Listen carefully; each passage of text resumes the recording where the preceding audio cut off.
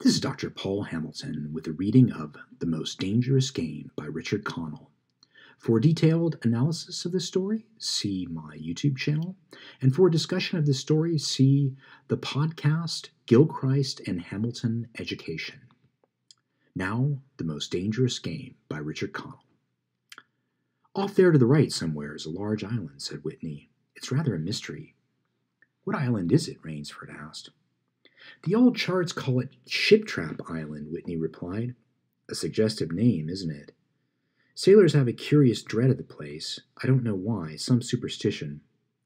Can't see it, remarked Rainsford, trying to peer through the dank tropical night that was palpable as it pressed its thick, warm blackness in upon the yacht. You've good eyes, said Whitney with a laugh and I've seen you pick off a moose moving in the brownfall bush 400 yards, but even you can't see four miles or so through a moonless Caribbean night. Nor four yards, admitted Rainsford. Ugh, it's like moist black velvet. It will be light enough in Rio, promised Whitney. We should make it in a few days. I hope the Jaguar guns have come from Purdey's. We should have some good hunting up the Amazon. Great sport hunting. The best in the world, agreed Rainsford. For the hunter, amended Whitney, not for the jaguar. Oh, don't talk rot, Whitney, said Rainsford. You're a big game hunter, not a philosopher. Who cares how a jaguar feels? Perhaps a jaguar does, observed Whitney. Bah, they've no understanding. Even so, I rather think they understand one thing fear the fear of pain and the fear of death. Nonsense, laughed Rainsford. This hot weather is making you soft, Whitney. Be a realist. The world is made up of two classes, the hunters and the huntees. Luckily, you and I are hunters. But you think we passed that island yet? I can't tell in the dark. I hope so. Why? asked Rainsford. The place has a reputation, a bad one. Cannibals? suggested Rainsford. Hardly. Even cannibals wouldn't live in such a godforsaken place. But it's gotten into sailor lore, somehow. Didn't you notice that the crew's nerves seemed a bit jumpy today? They were a bit strange, now you mention it. Even Captain Nielsen. Yes, even that tough minded old Swede who'd go up to the devil himself and ask him for a light. Those fishy blue eyes held a look I never saw there before. All I could get out of him was, this place has an evil name among seafaring men, sir. Then he said to me very gravely, Don't you feel anything? As if the air about us was actually poisonous. Now you mustn't laugh when I tell you this. I did feel something like a sudden chill. There was no breeze. The sea was as flat as a plate glass window. We were drawing near the island then. What I felt was a mental chill, a sort of sudden dread. Pure imagination, said Rainsford. One superstitious sailor can taint the whole ship company with fear. Maybe, but sometimes I think sailors have an extra sense that tells them when they're in danger. Sometimes I think evil's a tangible thing with wavelengths, just as sound and light have. An evil place can, so to speak, broadcast vibrations of evil. Anyhow, I'm glad we're getting out of this zone. Well, I think I'll turn in now, Rainsford. I'm not sleepy, said Rainsford. I'm going to smoke another pipe on the after deck. Good night, then, Rainsford. See you at breakfast. There was no sound in the night as Rainsford sat there, but the muffled throb of the engine that drove the yacht swiftly through the darkness, and the swish and ripple of the wash of the propeller. Rainsford, reclining in a steamer chair, indolently puffed on his favorite briar. The sensuous drowsiness of the night was on him. It's so dark, he thought, that I could sleep without closing my eyes. The night would be my eyelids. An abrupt sound startled him. Off to the right he heard it, and his ears, expert in such matters, could not be mistaken. Again he heard the sound, and again, somewhere off in the blackness, someone had fired a gun three times. Rainsford sprang up and moved quickly to the rail, mystified. He strained his eyes in the direction from which the reports had come, but it was like trying to see through a blanket. He leapt upon the rail and balanced himself there to get greater elevation. His pipe, striking a rope, was knocked from his mouth. He lunged for it. A short, hoarse cry came from his lips as he realized he had reached too far and had lost his balance. The cry was pinched off short as the blood warm waters of the Caribbean dosed over his head. He struggled up to the surface and tried to cry out, but the wash from the speeding yacht slapped him in the face, and the salt water in his open mouth made him gag and strangle. Desperately, he struck out with strong strokes after the receding lights of the yacht, but he stopped before he had swum fifty feet. A certain cool headedness had come to him. It was not the first time he had been in a tight place. There was a chance that his cries could be heard by someone aboard the yacht, but that chance was slender and grew more slender as the yacht raced on. He wrestled himself out of his clothes and shouted with all his power. The lights of the yacht became faint and ever vanishing fireflies. Then they were blotted out entirely by the night. Rainsford remembered the shots. They had come from the right, and doggedly he swam in that direction, swimming with slow, deliberate strokes, conserving his strength. For a seemingly endless time, he fought the sea. He began to count his strokes. He could do possibly a hundred more, and then Rainsford heard a sound. It came out of the darkness, a high screaming sound, the sound of an animal in an extremity of anguish and terror. He did not recognize the animal that made the sound. He did not try to. With fresh vitality, he swam towards the sound. He heard it again. Then it was cut short by another noise, crisp, staccato. Pistol shot, muttered Rainsford, swimming on. Ten minutes of determined effort brought another sound to his ears the most welcome he had ever heard, the muttering and growling of the sea breaking on a rocky shore. He was almost on the rocks before he saw them. On a night less calm, he would have been shattered against them. With his remaining strength, he dragged himself from the swirling waters. Jagged crags appeared to jut up in the opaqueness. He forced himself upward, hand over hand. Gasping, his hands raw, he reached a flat place at the top Dense jungle came down to the very edge of the cliffs. What perils that tangle of trees and underbrush might hold for him did not concern Rainsford just then. All he knew was that he was safe from his enemy, the sea, and that utter weariness was on him. He flung himself down at the jungle edge and tumbled headlong into the deepest sleep of his life. When he opened his eyes, he knew from the position of the sun that it was late in the afternoon. Sleep had given him new vigor. A sharp hunger was picking at him. He looked about him almost cheerfully. Where there are pistol shots, there are men. Where there are men, there's food, he thought. But what kind of men, he wondered, in so forbidding a place?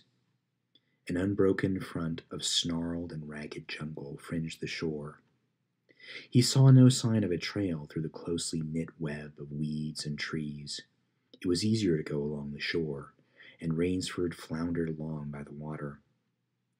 Not far from where he landed, he stopped. Some wounded thing, by the evidence a large animal, had thrashed about in the underbrush. The jungle weeds were crushed down and the moss was lacerated.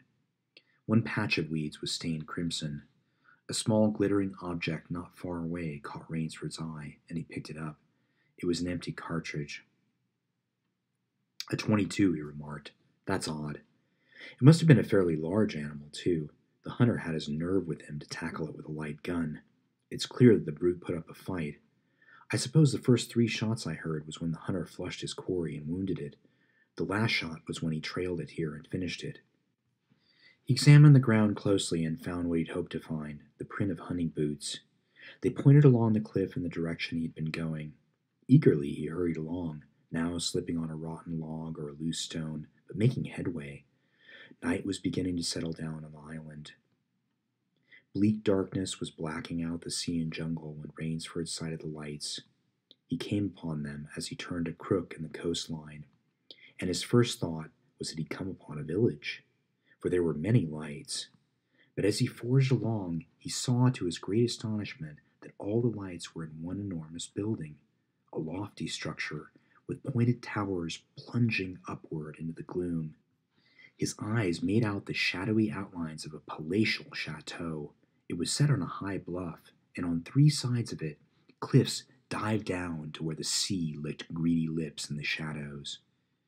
Mirage, thought Rainsford. But it was no mirage. He found when he opened the tall, spiked iron gate. The stone steps were real enough. The massive door with a leering gargoyle for a knocker was real enough. Yet above it all hung an air of unreality. He lifted the knocker and it creaked up stiffly, as if it had never been used before. He let it fall, and it startled him with its booming loudness. He thought he heard steps within. The door remained closed. Again, Rainsford lifted the heavy knocker and let it fall. The door opened then, opened as suddenly as if it were on a spring, and Rainsford stood blinking in the river of glaring gold lights that poured out. The first thing Rainsford's eyes discerned was the largest man Rainsford had ever seen, a gigantic creature, solidly made and black bearded to the waist. In his hand, the man held a long barreled revolver, and he was pointing it straight at Rainsford's heart. Out of the snarl of beard, two small eyes regarded Rainsford. Don't be alarmed, said Rainsford with a smile, which he hoped was disarming. I'm no robber. I fell off a yacht. My name is Sanger Rainsford of New York City. The menacing look in the eyes did not change, the revolver pointing as rigidly as if the giant were a statue. He gave no sign that he understood Rainsford's words or that he even heard them. He was dressed in a uniform, a black uniform, trimmed with gray astrakhan. I'm Sanger Rainsford of New York, Rainsford began. I fell off a yacht. I'm hungry. The man's only answer was to raise with his thumb the hammer of his revolver. Then Rainsford saw the man's free hand go to his forehead in a military salute, and he saw him click his heels together and stand at attention. Another man was coming down the broad marble steps, an erect, slender man in evening clothes. He advanced to Rainsford and held out his hand. In a cultivated voice marked by a slight accent that gave it added precision and deliberateness, he said, It's a very great pleasure and honor to welcome Mr. Sanger Rainsford, the celebrated hunter, to my home. Automatically, Rainsford shook the man's hand. I've read your book about hunting snow leopards in Tibet, you see, explained the man. I'm General Zaroff. Rainsford's first impression was that the man was singularly handsome. His second was that there was an original, almost bizarre quality about the general's face. He was a tall man past middle age, for his hair was a vivid white, but his thick eyebrows and pointed military mustache were as black as night from which Rainsford had come. His eyes, too, were black and very bright. He had high cheekbones, a sharp cut nose, a spare, dark face, the face of a man used to giving orders, the face of an aristocrat, Turning to the giant in uniform, the general made a sign. The giant put away his pistol, saluted, withdrew. Ivan is an incredibly strong fellow, remarked the general, but he has a misfortune to be deaf and dumb. A simple fellow, but I'm afraid, like all his race, a bit of a savage. Is he Russian? He's a Cossack, said the general, and his smile showed red lips and pointed teeth. So am I. Come, he said, we shouldn't be chatting here. We can talk later. Now you want clothes, food, and rest, and you shall have them. This is a most restful spot. Ivan had reappeared, and the general spoke to him with lips that moved but gave forth no sound. Follow Ivan, if you please, Mr. Rainsford, said the general. I was about to have my dinner when you came. I'll wait for you. You'll find that my clothes will fit you, I think. It was to a huge, beam ceilinged room with a canopied bed, big enough for six men, that Rainsford followed the silent giant. Ivan laid out an evening suit, and Rainsford, as he put it on, noticed that it came from a London tailor who ordinarily cut and sewed for none below the rank of duke. The dining room to which Ivan conducted him was in many ways remarkable. There was a medieval magnificence about it.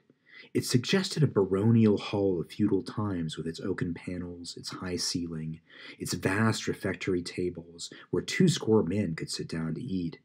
In the hall were mounted heads of many animals lions, tigers, elephants, moose, bears, larger or more perfect specimens Rainsford had never seen. At the great table, the general was sitting alone. You'll have a cocktail, Mr. Rainsford, he suggested. The cocktail was surpassingly good, and Rainsford noted the table appointments were of the finest the linen, the crystal, the silver, the china. They were eating borscht, the rich red soup with whipped cream so dear to Russian palates.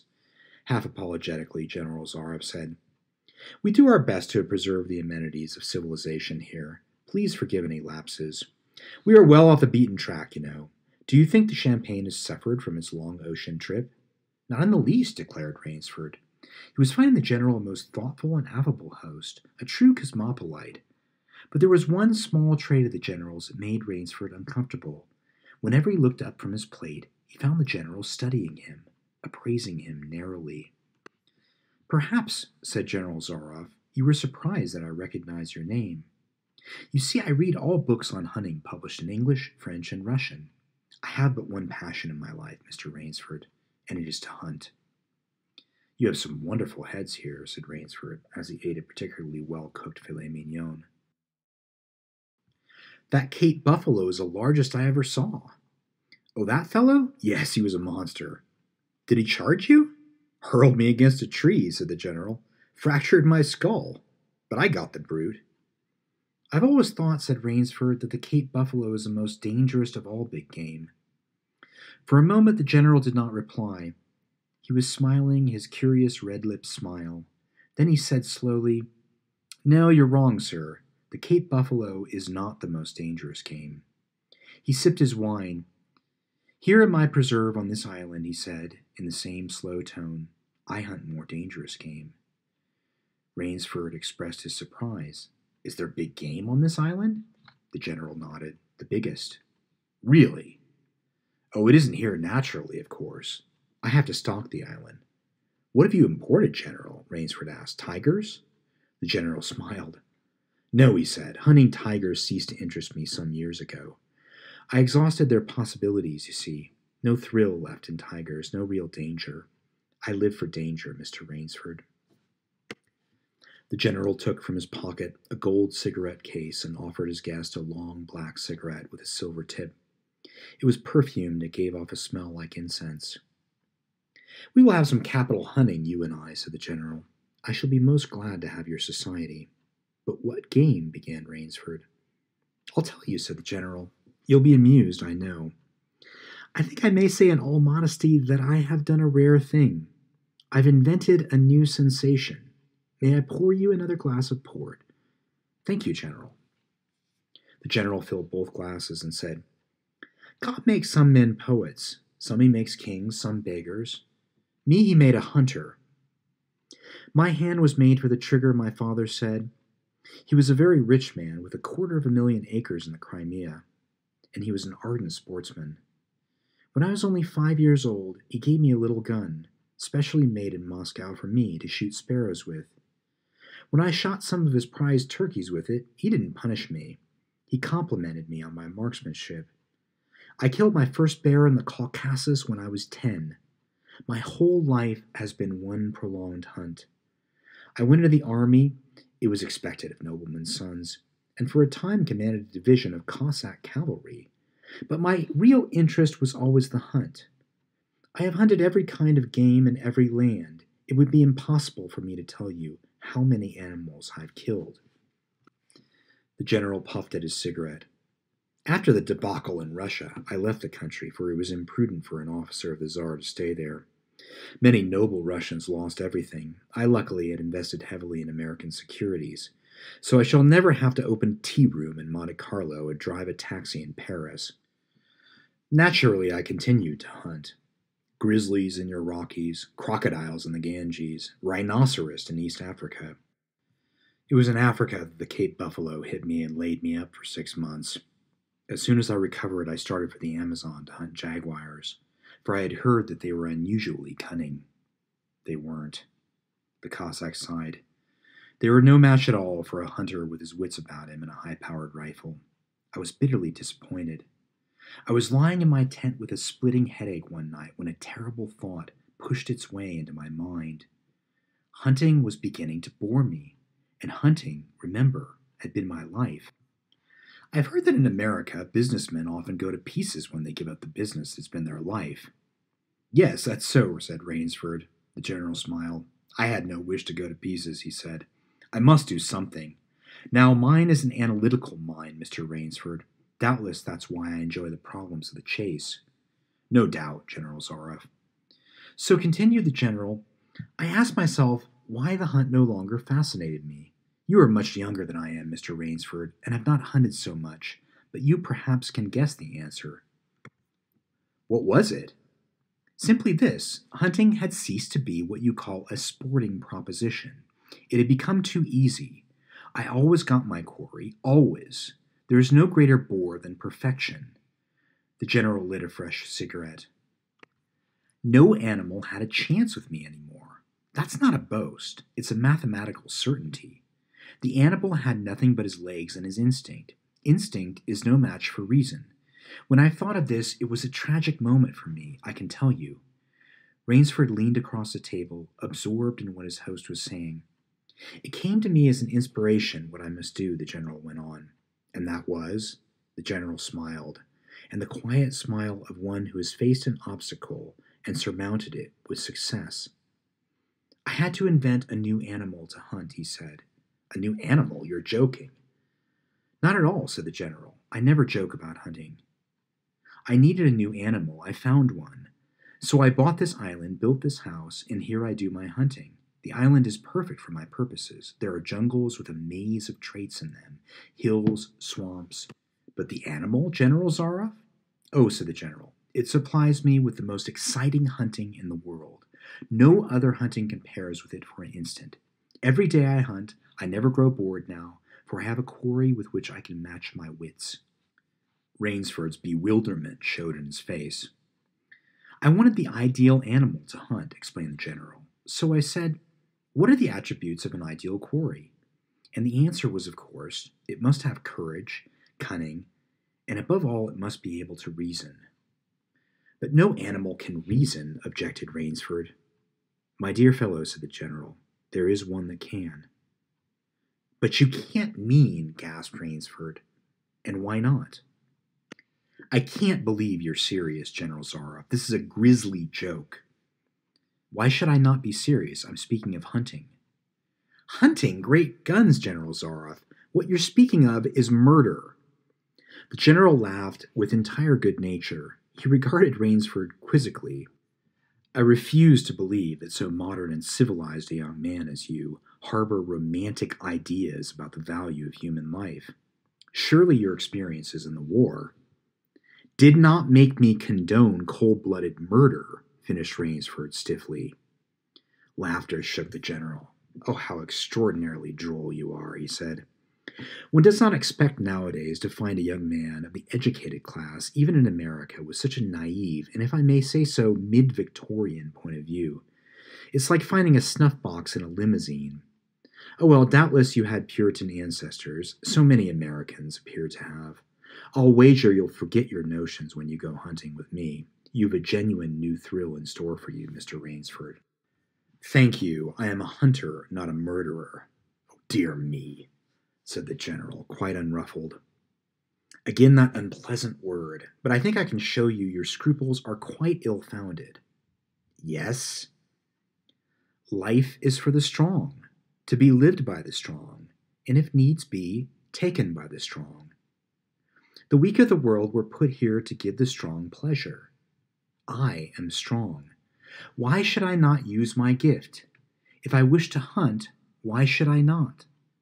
I hunt the scum of the earth sailors, tramps, lascars, blacks, Chinese, whites, mongrels. A thoroughbred horse or hound is worth more than a score of them. But they are men, said Rainsford hotly. Precisely, said the general. That is why I use them. It gives me pleasure. They can reason after a fashion, so they're dangerous. But where on earth do you get them? The general's left eyelid fluttered down in a wink. This island is called Shiptrap, he answered. Sometimes an angry god of the high seas sends them to me. Sometimes, when Providence is not so kind, I help Providence a bit. Come to the window with me. Rainsford went to the window and looked out toward the sea. Watch, out there, exclaimed the general, pointing into the night. Rainsford's eyes saw only blackness, and then, as the general pressed a button, Far out to sea, Rainsford saw the flash of lights. The general chuckled. They indicate a channel, he said, where there's none. Giant rocks with razor edges crouch like a sea monster with wide open jaws. They can crush a ship as easily as I crush this nut. He dropped a walnut on the hardwood floor and brought his heel grinding down on it. Oh, yes, he said, casually, as if in answer to a question. I have electricity. We try to be civilized here. Civilized? You shoot down men! A trace of anger was in the general's black eyes but it was there for but a second, and he said in his most pleasant manner, Dear me, what a righteous young man you are. I assure you I do not do the thing that you suggest. That would be barbarous.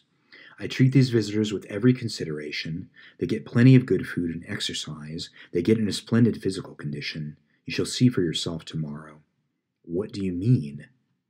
We'll visit my training school, smiled the general. It's in the cellar, I have about a dozen pupils down there. They're from the Spanish bark San Lucar that had the bad luck to go on the rocks out there. A very inferior lot, I regret to say, poor specimens, and more accustomed to the deck than to the jungle. He raised his hand, and Ivan, who served as a waiter, brought thick Turkish coffee. Rainsford, with an effort, held his tongue in check. It's a game, you see, pursued the general blandly. I suggest to one of them that we go hunting. I give him a supply of food and an excellent hunting knife. I give him three hours' start.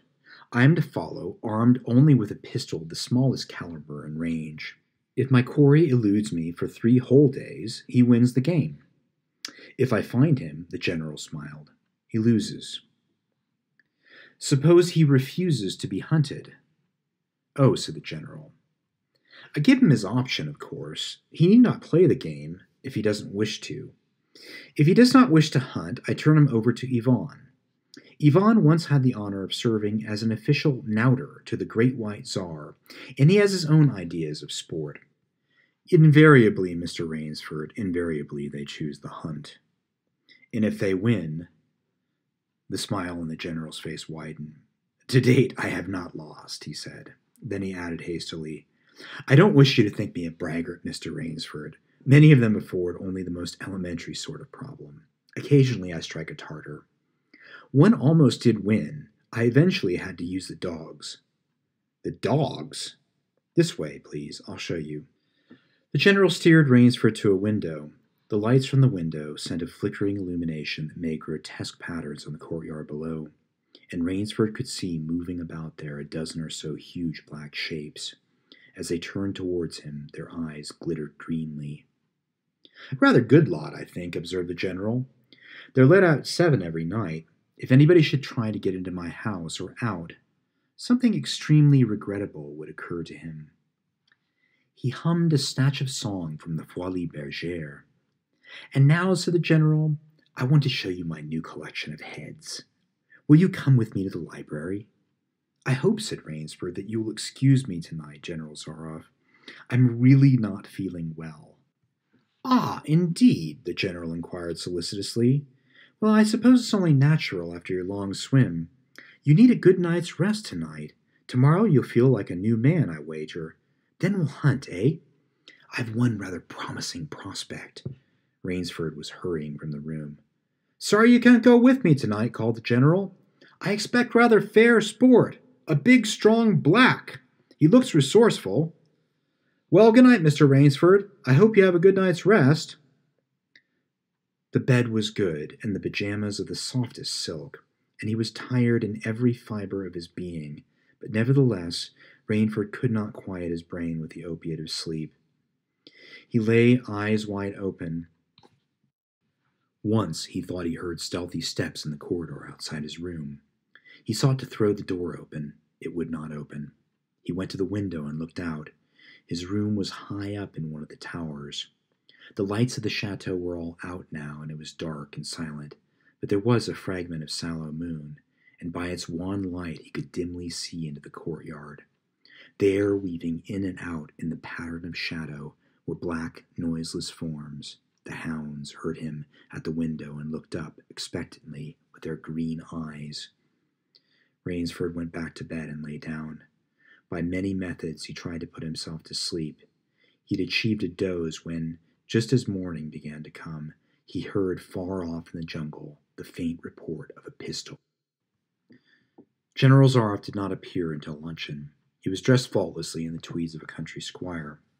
He was solicitous about the state of Rainsford's health. As for me, sighed the general, I do not feel so well. I am worried, Mr. Rainsford.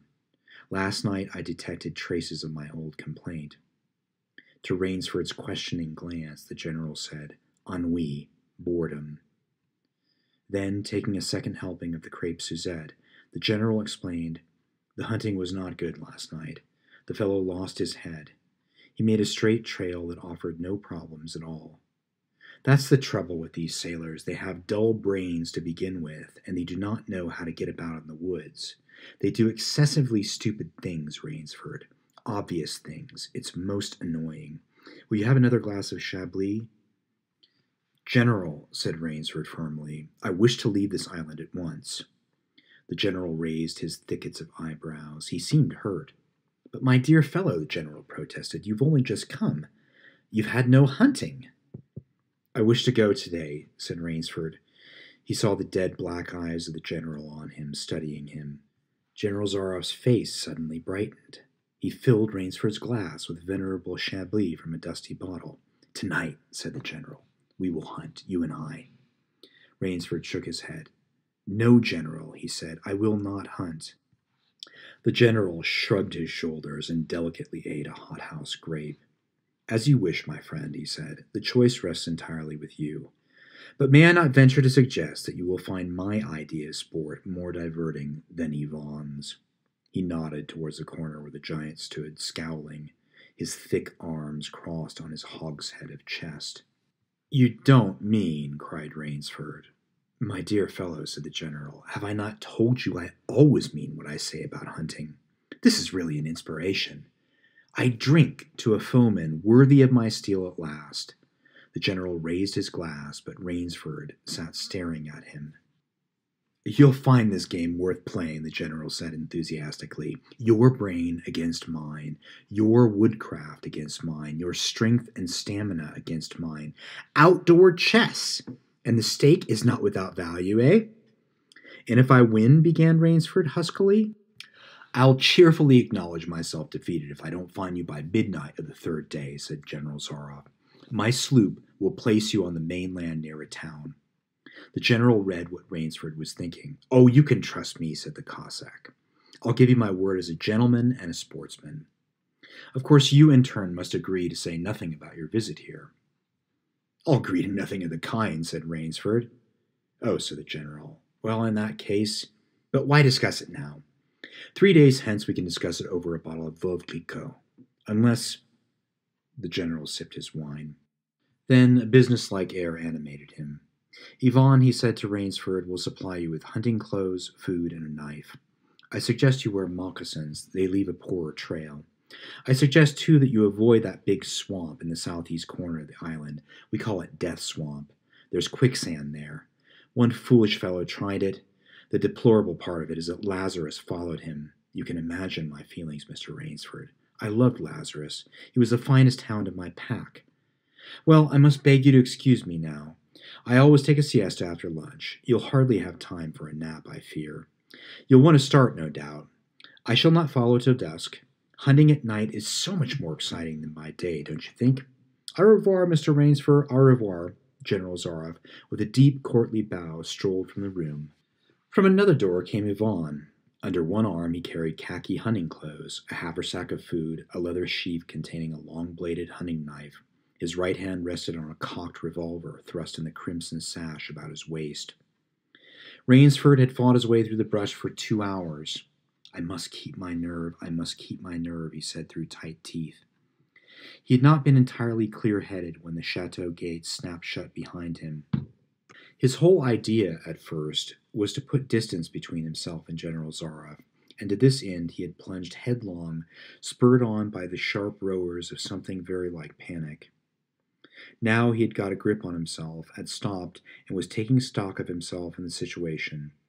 He saw that straight flight was futile. Inevitably, it would bring him back face to face with the sea. He was in a picture frame of water, and his operations clearly must take place within that frame. I'll give him a trail to follow, muttered Rainsford, and he struck off from the rude path he had been following into the trackless wilderness. He executed a series of intricate loops. He doubled on his trail again and again, recalling all the lore about the fox hunt and all the dodges of the fox. Night found him leg weary, with hands and face lashed by branches on a thickly wooded ridge. He knew it'd be insane to blunder on through the dark, even if he had the strength. His need for rest was imperative, and he thought, I played the fox, now I must play the cat of the fable. A big tree with a thick trunk and outspread branches was nearby, and taking care not to leave the slightest mark, he climbed up into the crotch and, stretching out one of his broad limbs after a fashion, rested. Rest brought him new confidence and almost a feeling of security. Even so zealous a hunter as General Zaroff could not trace him there, he told himself. Only the devil himself could follow that complicated trail through the jungle after dark. But perhaps the general was a devil. An apprehensive night crawled slowly by like a wounded snake, and sleep did not visit Rainsford, although the silence of a dead world was on the jungle. Toward morning, when a dingy gray was varnishing the sky, the cry of some startled bird focused Rainsford's attention in that direction. Something was coming through the bush, coming slowly, carefully, coming by the same winding way Rainsford had come. He flattened himself down on the limb, and through a screen of leaves almost as thick as tapestry, he watched. That which was approaching was a man. It was General Zaroff, he made his way along with his eyes fixed in utmost concentration on the ground before him. He paused almost beneath the tree, dropped to his knees, and studied the ground. Rainsford's impulse was to hurl himself down like a panther. He saw that the general's right hand held something metallic, a small automatic pistol. The hunter shook his head several times as if he were puzzled. Then he straightened up and took from his case one of his black cigarettes. Its pungent, incense like smoke floated up to Rainsford's nostrils. Rainsford held his breath. The general's eyes had left the ground and were traveling inch by inch up the tree. Rainsford froze there, every muscle tensed for a spring, but the sharp eyes of the hunter stopped before they reached the limbs where Rainsford lay. A smile spread over his brown face. Very deliberately, he blew a smoke ring into the air. Then he turned his back on the tree and walked carelessly away back along the trail he had come. The swish of the underbrush against his hunting boots grew fainter and fainter. The pent up air burst hotly from Rainsford's lungs. His first thought made him feel sick and numb. The general could follow a trail through the woods at night. He could follow an extremely difficult trail, he must have uncanny powers. Only by the merest chance had the Cossack failed to see his quarry. Rainsford's second thought was even more terrible. It sent a shudder of cold horror through his whole being. Why had the general smiled? Why had he turned back? Rainsford did not want to believe what his reason told him was true, but the truth was as evident as the sun that had by now pushed through the morning mists. The general was playing with him. The general was saving him for another day's sport. The Cossack was the cat, he was the mouse. Then it was that Rainsford knew the full meaning of terror. I will not lose my nerve, I will not. He slid down from the tree and struck off again into the woods. His face was set, and he forced the machinery of his mind to function. Three hundred yards from his hiding place, he stopped where a huge dead tree leaned precariously on a smaller living one. Throwing off his sack of food, Rainsford took his knife from its sheath and began to work with all his energy. The job was finished at last, and he threw himself down behind a fallen log a hundred feet away. He did not have long to wait. The cat was coming again to play with the mouse. Following the trail with the sureness of a bloodhound came General Zaroff. Nothing escaped those searching black eyes. No crushed blade of grass, no bent twig, no mark, no matter how faint in the moss. So intent was the Cossack on his stalking that he was upon the thing Rainsford had made before he saw it. His foot touched the protruding bough that was the trigger. Even as he touched it, the general sensed his danger and leaped back with the agility of an ape. But he was not quite quick enough. The dead tree, delicately adjusted to rest on the cut living one, crashed down and struck the general a glancing blow on the shoulder as it fell. But for his alertness, he must have been smashed beneath it. He staggered, but he did not fall, nor did he drop his revolver. He stood there, rubbing his shoulder, and Rainsford, with fear again gripping his heart, heard the general's mocking laugh ring through the jungle. Rainsford, called the general, if you're within the sound of my voice, as I suppose you are, let me congratulate you. Not many men know how to make a Malay man catcher. Luckily for me, I too have hunted in Malacca. You're proving interesting, Rainsford. I'm going now to have my wound dressed. It's only a slight one, but I shall be back. I shall be back. When the general, nursing his bruised shoulder, had gone, Rainsford took up his flight again. It was flight now, a desperate, hopeless flight that carried him on for some hours. Dusk came, then darkness, and still he pressed on. The ground grew soft under his moccasins. The vegetation grew ranker, denser. Insects bit him savagely. Then, as he stepped forward, his foot sank into the ooze. He tried to wrench it back, but the muck sucked viciously at his foot as if it were a giant leech. With a violent effort, he tore his foot loose. He knew where he was Death Swamp and its quicksand. His hands were tight closed, as if his nerve were something tangible that someone in the darkness was trying to tear from his grip. The softness of the earth had given him an idea. He stepped back from the quicksand a dozen feet or so, and like some huge prehistoric beaver, he began to dig. Rainsford had dug himself in in France when a second's delay meant death. That had been a placid pastime compared to his digging now. The pit grew deeper, when it was above his shoulders, he climbed out, and from some hard saplings cut stakes and sharpened them to a fine point. These stakes he planted in the bottom of the pit, with the points sticking up. With flying fingers, he wove a rough carpet of weeds and branches, and with it he covered the mouth of the pit. Then, wet with sweat and aching with tiredness, he crouched behind the stump of a lightning charred tree. He knew his pursuer was coming. He heard the padding sound of feet on the soft earth, and the night breeze brought him the perfume of the general's cigarette. It seemed to Rainsford that the general was coming with unusual swiftness. He was not feeling his way along foot by foot. Rainsford, crouching there, could not see the general, nor could he see the pit. He lived a year and a minute. Then he felt an impulse to cry aloud with joy, for he heard the sharp crackle of the breaking branches as the cover of the pit gave way. He heard the sharp scream of pain as the pointed stakes found their mark. He leaped up from his place of concealment, then he cowered back. Three feet from the pit, a man was standing with an electric torch in his hand. You've done well, Rainsford, the voice of the general called. Your Burmese tiger pit has claimed one of my best dogs. Again, you score. I think, Mr. Rainsford, I'll see what you can do against my whole pack. I'm going home for a rest now. Thank you for a most amusing evening. At daybreak, Rainsford, lying near the swamp, was awakened by a sound that made him know that he had new things to learn about fear. It was a distant sound, faint and wavering, but he knew it. It was the baying of a pack of hounds. Rainsford knew that he could do one of two things. He could stay where he was and wait. That was suicide. He could flee. That was postponing the inevitable. For a moment he stood there thinking. An idea that held a wild chance came to him, and, tightening his belt, he headed away from the swamp. The baying of the hounds drew nearer, then still nearer, nearer, ever nearer. On a ridge, Rainsford climbed a tree. Down a watercourse, not a quarter of a mile, he could see the bush moving. Straining his eyes, he saw the lean figure of General Zaroff. Just ahead of him, Rainsford made out another figure whose wide shoulders surged through the tall jungle weeds.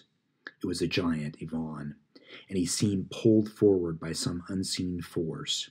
Rainsford knew that Ivan must be holding the pack in leash. They would be on him any minute now. His mind worked frantically. He thought of a native trick he had learned in Uganda. He slid down the tree. He caught hold of a young, springy sapling, and to it he fastened his hunting knife with the blade pointing down the trail. With a bit of wild grapevine, he tied back the sapling.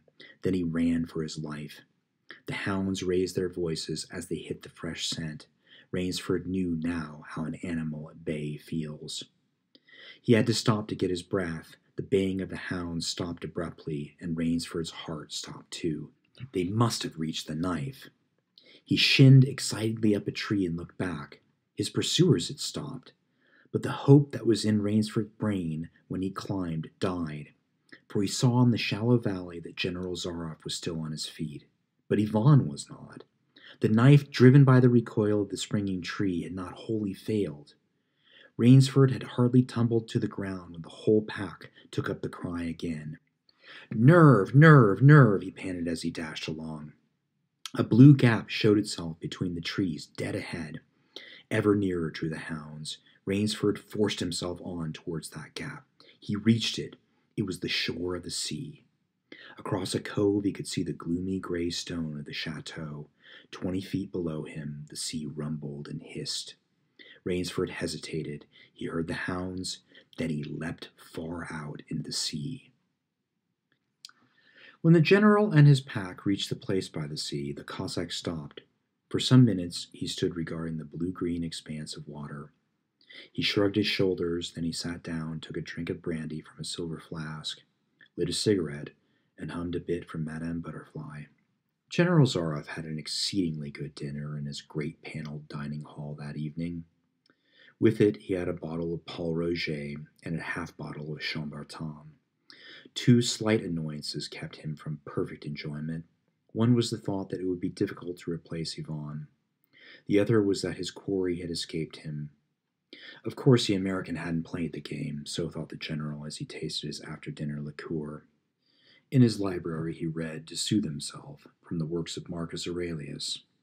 At ten, he went up to his bedroom. He was deliciously tired, he said to himself as he locked himself in. There was a little moonlight, so before turning on his light, he went to the window and looked down at the courtyard. He could see the great hounds, and he called, Better luck next time to them.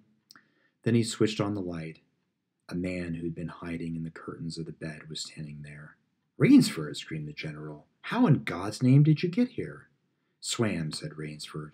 I found it quicker than walking through the jungle. The general sucked in his breath and smiled. I congratulate you, he said. You've won the game. Rainsford did not smile. I'm still a beast at bay, he said in a low, hoarse voice. Get ready, General Zaroff. The general made one of his deepest bows. I see, he said. Splendid. One of us will furnish a repast for the hounds. The other will sleep in this very excellent bed. On guard, Rainsford. He had never slept in a better bed, Rainsford decided.